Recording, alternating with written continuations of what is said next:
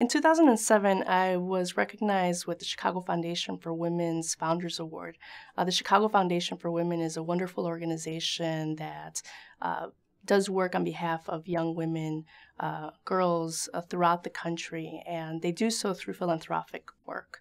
Uh, the Founders Award was an award that was created specifically to recognize emerging leaders.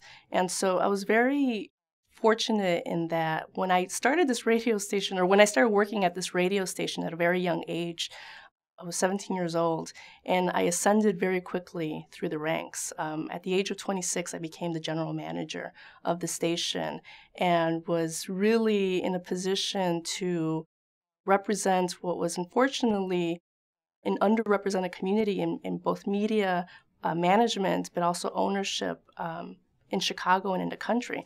Unfortunately, for women and for communities of color, there is a very broad underrepresentation of, of communities um, uh, that own their own uh, media channels or that can make decisions.